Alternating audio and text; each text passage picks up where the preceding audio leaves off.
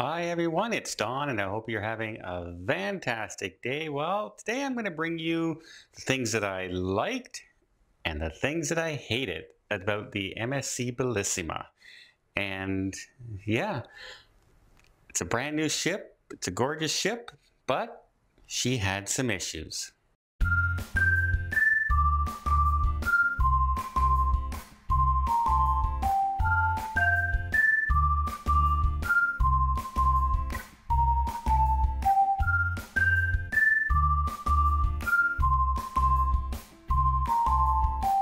Because I like to end on a positive note, I'm going to start off with the negative things that I did not like about the MSC Bellissima.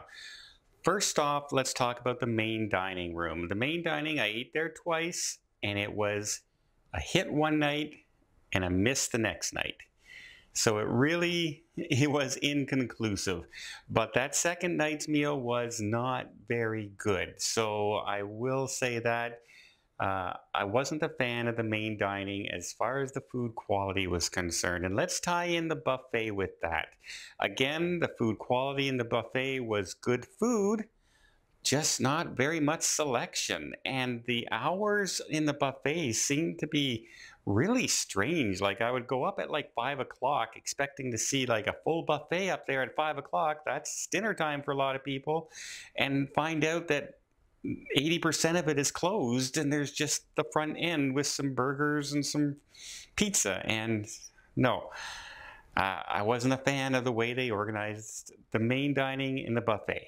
Number two was the pricing on some of these. Uh, I compared it to the MSC Seaside, which I was on a week earlier. So, for instance, I liked the Formula One racing, and in the MSC Bellissima, it was 10 US dollars for a five minute ride.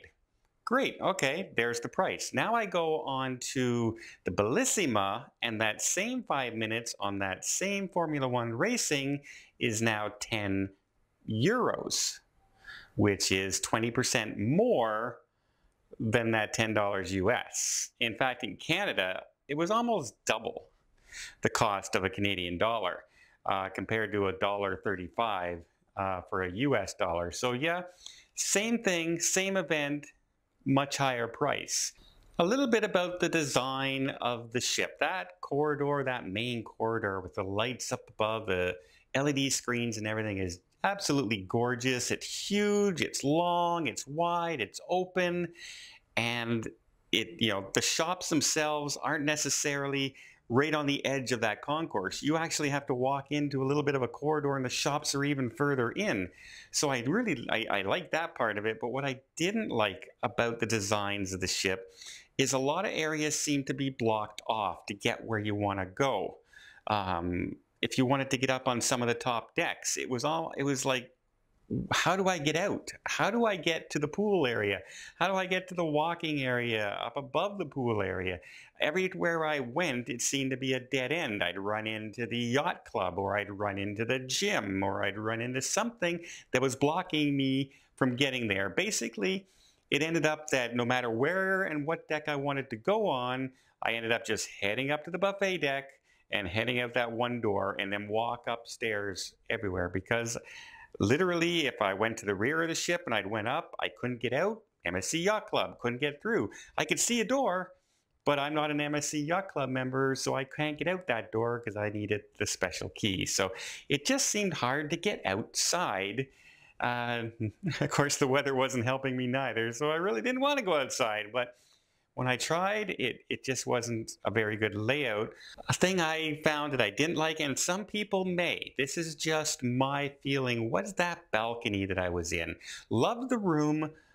The balcony was spacious, but that overhang, it at first I thought, well, you know, it's going to protect me from the rain and everything's good. And, but it, it just started feeling like I couldn't see a great view. I just saw the overhang. Whenever I looked out, I saw the overhang. I didn't see what's coming off in the distance. And it just, by the end of that cruise, I absolutely hated the view from my balcony. And I would never book that balcony again. There's other places on the ship that don't have that overhang. So, you know, if you want to go on the MSC Bellissima, I would recommend you looking at that, unless this this just doesn't, doesn't bother you at all. But I have a feeling whenever you sign up for like a guaranteed balcony, these are one of the ones you're going to get. The next one is hard for me because it's, it's it's not really that big of a complaint, it's just an inconvenience, is the amount of languages they speak every time they announce something. So they did this before at the launch of the MSC Seaside as well, when she first launched, and a lot of people complained about it. Literally, they spoke in English, German, French, I think it was Japanese, Spanish, Portuguese, and Russian for every single announcement. So now pity the poor guy up on stage in the shows trying to get you excited for the show and he has a speech saying the exact same thing in eight languages. And by the end, people are like, and he goes, and here's the show. And by then, everyone is like, yeah, okay, whatever. Are you done? So I understand maybe like subtitles on a screen or something. Keep it to the two most popular languages on the ship, probably Italian or uh, French or German. There were a lot of Germans on board as well. But I understand that it's a it's a universal, multilingual uh, passengers. There's a lot of passengers out there. But I'm sitting beside an Italian uh, couple beside me who spoke very, very little English, and I was speaking with a Japanese couple beside me, and they all said the exact same things. Oh my goodness, this goes on forever. An announcement of the show, the same, the, the 30 second announcement should not take eight minutes. And I, I felt sorry Maybe they'll address this as they go forward, but, but the first night you're going, okay, this is fine, great. The second night and the third night and the fourth night, it, you know, you almost don't want to show up until the show starts. It's, it was, it started to get that annoying. And finally, while we're on that subject of shows, I just came off the seaside. Again, I have to go back to the seaside because it's the same company and this ship is the newer ship. So the Seaside had a lot of problems when she launched. People hated the shows. It was too opera. They needed more Broadway shows, more comedy, and so they have the uh, the four people who do the improv comedy, and they had more Broadway shows, not just opera. They had an opera night, but they also had you know Broadway shows, theater shows, dancing. They mixed in Cirque du Soleil performances. Well, in the main theater, uh, there, there was really none of that in the Bellissima. There were two Broadway shows, and there was shows like we had a mime um, that's like was doing an ostrich thing, um, and then we had a shadow puppet guy doing like you know he was they were really good at what they do but for 40 minutes, it's it seems too long for that kind of performance. It, for a five minute or a 10 minute part of a show, a collab of a show, great. That would be perfect. But as a whole 40 minute show, no matter how good it is, it's still the same thing over and over again. It's a mime, no voice, no talking, no nothing. It's a shadow puppet. No matter how many faces you do, with your shadow puppet, eventually they all start to look almost the same. And that's unfortunately what happened with this. And I'm not the only one who felt that way. I talked to lots of people around me in the rows and got their opinions on it. And they said it was great at the beginning. And uh, literally in one of the shows, um, by the end of the show, a good one third of the people had left. And that's not, not a good sign. Uh, so I think they really need to do something about their entertainment on board. I love the entertainment in the shows. Now, on the flip side of that, Cirque du Soleil show, which I wasn't able to do because I booked my cruise at the last moment and it was already sold out because, get this, they only had two shows on the entire eight day sailing. Two shows of their number one entertainment venue on the ship. They said there'll be more in future cruises, but for my lucky cruise, you see how I get lucky on some of these cruises? Uh, it wasn't available. So I wasn't able to see it. I did talk to some friends that I met on board, and they said it was fantastic. It was spectacular. So I'm going to take everyone's word for it that that part of the show is good. If it's anywhere near the circus performers that were on the seaside during some of their shows, I can just imagine how great that show was.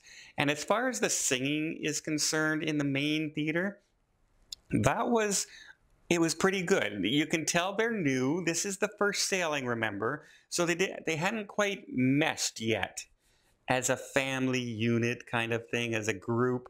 But you can see it evolving and you can see that it's going to get better and better as they go along. So I have no fear that say that the theater show parts are going to be fantastic. They're going to be great. But uh, they got to mix it up more. I they either have to bring in a comedian or something, but like the shadow puppets. Uh, it, it might be some people's cup of tea, and it's it just wasn't mine. Okay, enough negativity. Now on with the positive stuff. First off, let's talk about my room. I actually preferred my balcony on this ship than I did on the seaside. And one of the big reasons for that was the desk layout that was in this actually had drawers in it where it didn't have it on the seaside. Those drawers added so much more closet space and storage space to the room. It's almost like it doubled my storage space, just having drawers in a desk. And the desk had lots of room to set up my computer and do some work and all this stuff. Uh, the colors were a little subdued. They're more of a brown than the Seaside was a purple, a brighter color. But as far as functionality is concerned and cleanliness and design, I was perfectly happy with the room. Other than that, the balcony. Now food, specialty restaurants. I ate in all four specialty restaurants and uh, had a little hiccup in the tapas uh, where it just seemed to be still setting up, still I'm not quite understanding what their roles are and how to work and everything. But as far as the food was concerned, all four specialty restaurants, the food was fantastic. I did not have a bad meal at any of the specialty restaurants. So great job there. I highly recommend them. They have those three and four restaurant packages that you can get on the ship earlier uh, you can order online before you get there, and it's at a much reduced price than if you bought them on the ship. I highly recommend doing that because, uh, quite frankly, it was great meals and far superior to the main dining restaurant. Next, as far as activities is concerned, let's talk about the sports area. Their sports area is even larger than that was on the MSC Seaside. They have two Formula One racers, so you can race against a friend of yours. They have 3D uh, maze where you put on the 3D goggles and you're inside and you walk around. It's like a sensory thing. They have a huge basketball court. They have uh, lots of video games. They have the bowling alley. There's lots the the 4D theater.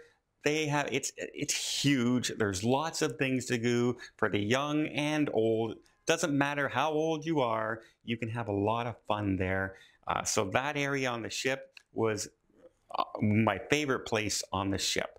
Also, the kids areas with the rope courses and the pools and the splash zones at the rear of the ship Another great area, especially if you have kids. Unfortunately, on my days, it was raining and cold, but you can see if you were in, on a sunny day and a warm day, the kids would be all over that area. It was huge. It was a large space, lots of water slides, lots of entertainment area for the kids to run around and just, just have a ball. So yeah, kids on this ship will have a lot of fun. Of course, I can't talk about a new ship without just talking about the looks. The design of the ship is beautiful. Everything is just immaculate. Marble everywhere. The shops don't just look like souvenir shops. They look like expensive high-end shops, even though you're just getting cups and keychains inside. They also have them set aside out of the main lobby. So the whole main lobby is wide open, beautiful. They have a chocolate shop in there with all kinds of chocolate. I probably spent about $100 and probably gained about 10 pounds in that sh chocolate shop alone. I bought, I tried one of everything and uh, it was really good. I just, you know, me and my vices of chocolate.